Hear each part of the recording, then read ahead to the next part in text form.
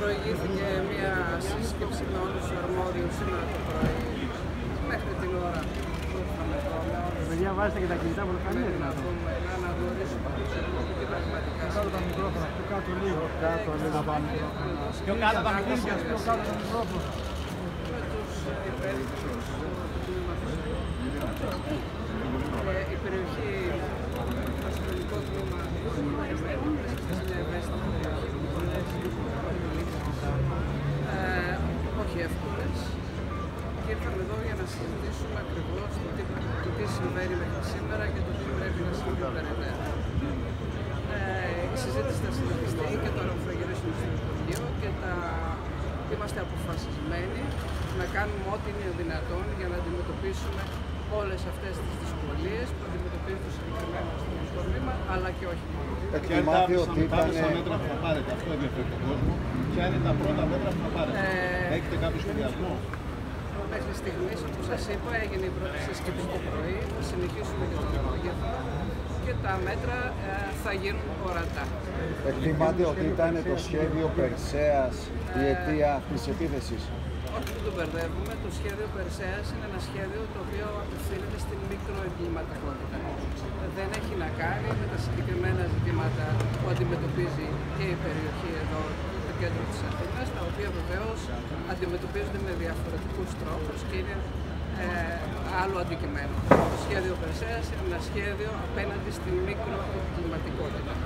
Ναι, εννοούμε την περιπολία και πεζή που βρισκόταν Η πεζή- απέναντι. Η ορατή αστυνόμευση έρχεται και κυρίως για να αποτρέψει και να αντιμετωπίσει στη συνέχεια μικροεγκληματικότητα. Υπήρχε και μια, ένα επεισόδιο στο πεδίο του Άδου, πάλι με αστυνομικού που ήταν απειλήσει από κοκκουλοφόρου. Πολλοί άνθρωποι μα τότε που είχαμε μιλήσει μαζί του σήμερα και την προστάτευση και δεν ξέρω τι να κάνουμε. Κοιτάξτε, υπάρχουν Πόσα πολλά, άτομα υπάρχουν πρέπει; πολλά θέματα.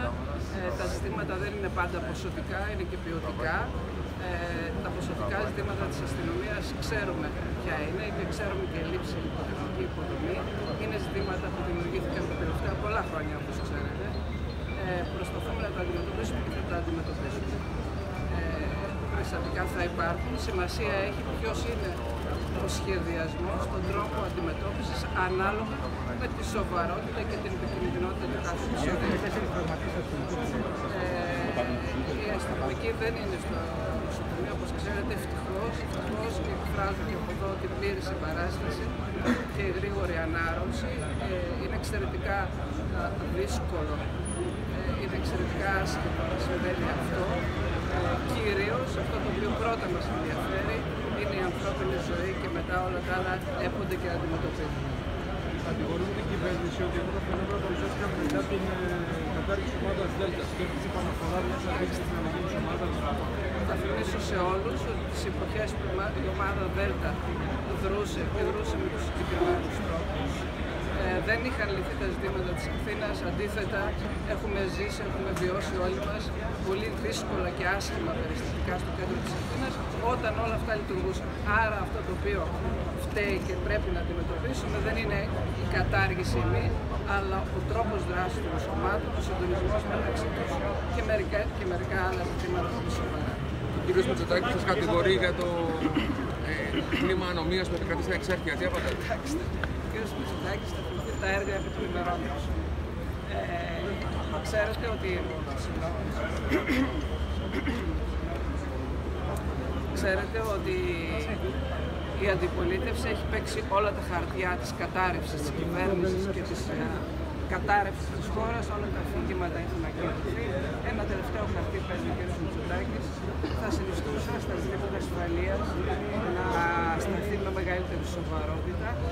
Ε, αντιμετωπίζοντας τα ζητήματα ασφαλείας είναι ευαίσθητα, σοβαρά και πρέπει να αντιμετωπιστούν με υπευθυνότητα και σοβαρότητα και αποφασιστικότητα την οποία διαθέτουμε. Όσοι προσπαθούν να κάνουν επικοινωνία με ζητήματα ασφάλειας είναι επικίνδυνοι. Συναντηθήκατε στο κτίριο, συνομιλήσατε καθόλου; Υπάρχουν ευθύνες και χθεσινό συμβάν. Δεν αναφερόμαστε καθόλου. Υπάρχουν πολλά. Υπάρχουν ζητήματα, όπως σας είπα, οι συζητήσεις για να φτάσουμε στην ουσία τους. Προφανώς όταν κάτι συμβαίνει, κάτι φταίει. Ναι. Για να το δει κάποιος όμως, όχι με τρόπο επικοινωνιακό, αλλά ουσιαστικό, πρέπει να το δει εις βάθος. Αυτό, αυτό ακριβώς κάνουμε σήμερα. Όταν τα αστυνομικά τμήματα δεν μπορούν να προστατευτούν, ο απλός ο ιδιοκτήτης του καταστήματος, ο άνθρωπος ο οποίος περπατάει με τη τσάντα του στον δρόμο, τι πρέπει να αισθάνεται. Ακριβώς, ξέρετε, αυτό το οποίο ε, παλεύουμε και θα παλέψουμε και θα το καταφέρουμε είναι να επαναφέρουμε το αίσθημα ασφάλειας στον πολίτη. Ε, καταλαβαίνετε ότι μικρά, μεγαλύτερα, δυσκολότερα και ευκολότερα περιστατικά συμβαίνουν. Αυτό ακριβώς όμως δεν αντιμετωπίζεται με λόγια, ξέρετε. Αυτό αντιμετωπίζεται με πράξεις, δεν αντιμετωπίζεται με κανενός τύπου επικοινωνιακή πολιτική. Χρονοδιάγραμμα υπάρχει για αυτό το οποίο θα κάνετε. Έχετε Θα βάλει είμαστε, δηλαδή, α- ημερομηνία θα είμαστε άμεση και γρήγοροι σταδιακά.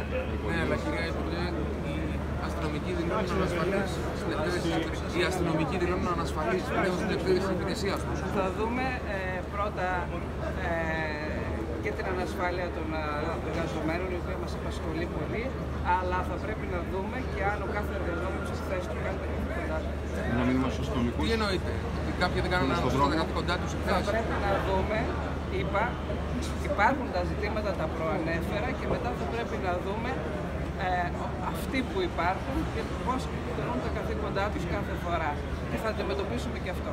Εννοείται δηλαδή ότι αυτή τη στιγμή θα γίνει η έρευνα όσον αφορά τους Σε όλα θα γίνουν. αστυνομικών. για Σε το όλα, χθεσινό θα γίνονται, επεισόδιο σε όλα τα επεισόδια θα γίνονται έρευνες για τη συμπεριφορά όλων Και των αστυνομικών. και, και ημών συμπεριλαμβανομένων. Άρα όλων και των αστυνομικών. Μάλιστα, ευχαριστούμε πολύ. Εγώ. Σας ευχαριστώ πολύ.